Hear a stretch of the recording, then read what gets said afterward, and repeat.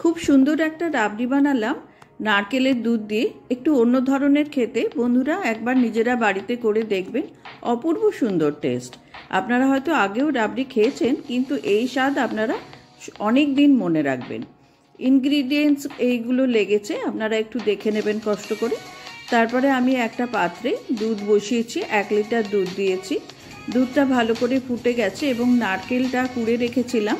নারকেলটা মিক্সিতে দিয়ে দুধটা বের করে নিয়েছি, নারকেলের দুধ। দেখুন, আমি দু কাপ মতো নারকেলের দুধ এখানে ব্যবহার করেছি। খুবই ইজি এটা, খুব সহজেই হয়ে যায়। আমার এইটা পুরোটা তৈরি করতে পঁয়তাল্লিশ মিনিট মতো সময় লেগেছে। এই যে এই দুধটা ফুটছে, দেখুন, দুধটা কিন্তু কনস্ট্যান্টলি নাড়তে হবে। এবারে চারটে টোস্ট বিস্কুট আমি এখানে মিক্সিতে গুঁড়ো করে নিয়েছি।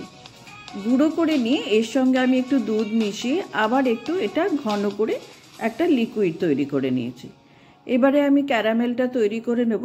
আমি ফ্রাই প্যানের মধ্যে দু চামচ জল দিয়ে, তিন চামচ চিনি দিয়েছি। এটা কিন্তু গ্যাস কমিয়ে কনস্ট্যান্টলি নাড়তে হবে, না হলে তেতো হয়ে যাওয়ার সম্ভাবনা আছে।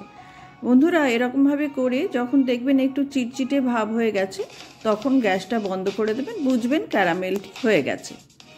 এবারে আপনারা দু চামচ চাল, গোবিন্দভোগ চাল, আধ ঘণ্টার জন্য ভিজিয়ে রেখে সেটা মিক্সিতে গ্রাইন্ড করে সেটা দুধের সঙ্গে মিশিয়ে দেবেন এবং তিনটে ছোট এলাচ এই দুধের সঙ্গে ফুটাবেন। ভালো করে ফুটিয়ে এই চাল যে আমরা মিক্সিতে বেটে রেখেছি সেই চালটা আমি দুধের সঙ্গে মিশিয়ে দিলাম এবং তারপরে ভালো করে নাড়লাম এবং নারকেলের দুধটাও মিশিয়ে দিলাম। দেখুন আমি কনস্ট্যান্টলি নাড়ছি, এটা যাতে ঘন হয়। দু চামচ মিল্ক পাউডার একটু ঠান্ডা দুধে গুলে নিয়ে আমি সেটাও এই দুধের সঙ্গে মিশিয়ে দিচ্ছি। দেখুন বন্ধুরা, আমরা কিন্তু সবসময় এটা নাড়ছি, গ্যাসটা কিন্তু একদম কম করে দেবেন। এবং যে বিস্কুটের গুঁড়োটার সঙ্গে দুধ মিশিয়ে রেখেছিলাম, সেটাও আমি এখানে ঢেলে দিলাম এবং ড্রাই ফ্রুটসগুলো সব ছড়িয়ে দিলাম।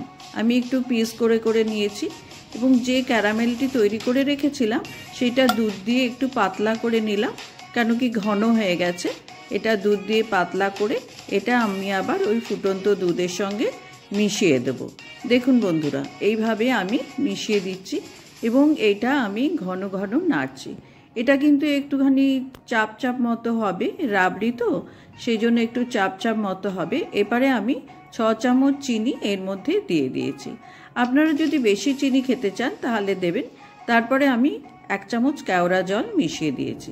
দেখুন, পুরো জিনিসটি তৈরি হয়ে গেল। অপূর্ব সুন্দর স্বাদ। বন্ধুরা, আপনারা খাবেন আর ভিডিওটি ভালো লাগলে লাইক, শেয়ার, সাবস্ক্রাইব করবেন। নিজেরা খেয়ে আমাকে জানাবেন কেমন লাগল। ভালো থাকবেন। নিজেদের বানা, বাড়িতে বানাবেন। নমস্কার।